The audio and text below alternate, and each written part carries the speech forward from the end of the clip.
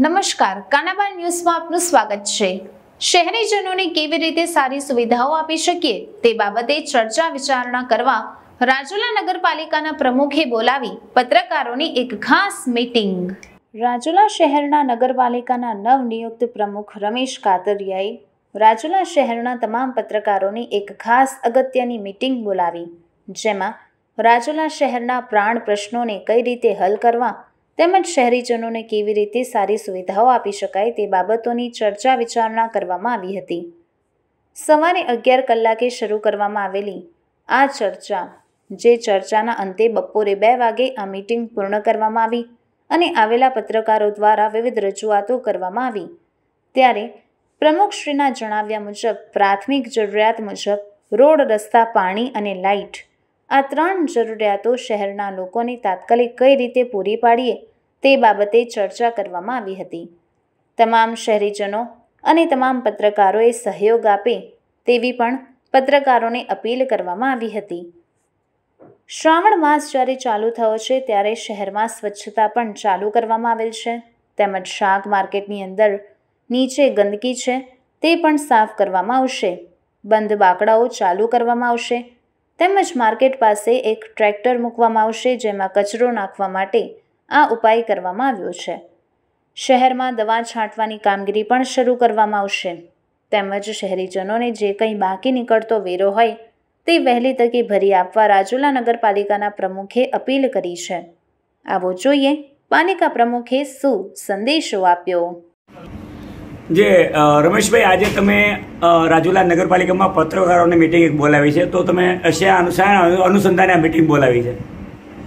ખાસ તો આ મીટિંગ બોલાવવાનું મુખ્ય કારણ એવું છે કે રાજુલાના રહીશોને એક મેસેજ આપના માધ્યમથી પહોંચતો થાય કે રાજુલા નગરપાલિકાની બોડી અત્યારે જે છે તેમાં બધા જ સભ્યો અને સ્ટાફની એવી અમારી એક નેમ છે કે રાજુલાને ક્લીન કઈ રીતે કરી શકીએ અને એમાં જે કાંઈ કરવું ઘટતું હોય એની માટે મળી અને સહિયારો પ્રયત્ન કરવા માટે આપના માધ્યમથી લોકો સુધી એ વાત પહોંચાડવા માટે કે સૌ જનતા અને બધા જ મળી અને આપણે રાજુલાનું સારું કરી શકશું. એની માટે સૌએ સહિયારો પ્રયત્ન કરવો પડશે અને સૌ મળીને કામ કરશું. તો જ રાજુલા ક્લીન અને સાફ સુથરું રહેશે અને નિરોગી બનશે. એટલા માટે થઈને તમને ખાસ તો બોલાવો. રમેશભાઈ અત્યારે આપણે રાજુલાના શહેરીજનોને આપ શું સંદેશો આપશો ખાસ તો રાજુલાના શહેરીજનોથી અમારે એ જ અપેક્ષા છે કે ટાઈમસર જેટલાના વેરા બાકી છે એ વેરા ભરે. અને જે અમારી ડોર ટુ ડોર ગાડી આવે છે ગટર છે ઓપન ગટરો છે એની અંદર કચરો ન નાખે અને ગાડીની અંદર જ નાખે. કદાચ સંજોગોવંશ ગાડી ન પણ આવે તો એકાદ દિવસ પોતે જાતે મેન્ટેન કરી લે. અને પછી જ્યારે અમારી ગાડી આવતી હોય ત્યારે એની અંદર જ નાખે એવો અમારો આગ્રહ છે. રમેશભાઈ અત્યારે જે તમે કાર્યક્રમ અનુસંધાને તમે મિટિંગ બોલાવી છે એમાં ખાસ મહત્વનો મુદ્દો શું છે સાહેબ? મહત્વના મુદ્દા એવા છે કે પેલા તો પ્લાસ્ટિકનો ખાસ તો એ મુદ્દો છે કે પ્લાસ્ટિક અમે જ્યારે બંધ કર્યું છે જ્યારે ગુજરાત સરકારની ગાઈડલાઈન હોય અને અમને એની કડક સૂચના હોય, એના અનુસંધાને જ પ્લાસ્ટિક ઉપર પ્રતિબંધ હોય તો પ્લાસ્ટિક શું કામ વાપરવું? અને પ્લાસ્ટિક એક એવી વસ્તુ છે જે નાશ નથી થઈ શકતો. એટલા માટે જ તો અમે એને, એની ઉપર જે કડક કાર્યવાહી કરવાની છે અને ગ્રામજનોને અને વેપારી મિત્રોને ખાસ એ અમારું સૂચન છે કે અમને એટલો સહયોગ આપો કે આપને વિરુદ્ધ અમારે કડક કાર્યવાહી ન કરવી પડે. માટે સ્વયંભૂત તમે જાતે બંધ કરી દો એવો અનુરોધ છે.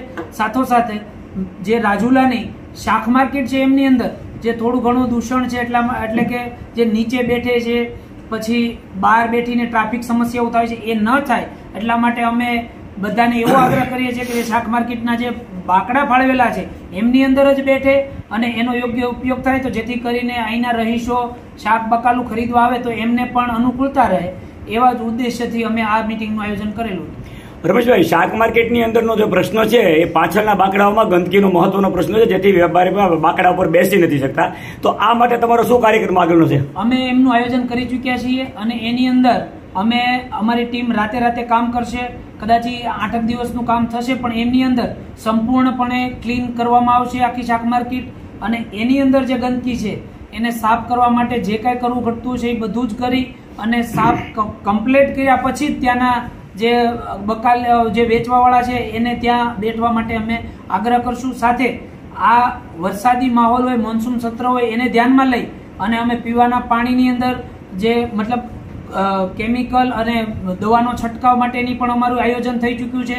અને મેલેરિયા યુક્ત જે ઓઇલ આવે છે એ પણ અમે ખરીદી કરી અને લોકોના સ્વાસ્થ્ય માટે સારું કઈ રીતે થઈ શકે એવું આયોજન અમે અમારી ટીમે કરી ચૂક્યા છીએ આભાર થેન્ક યુ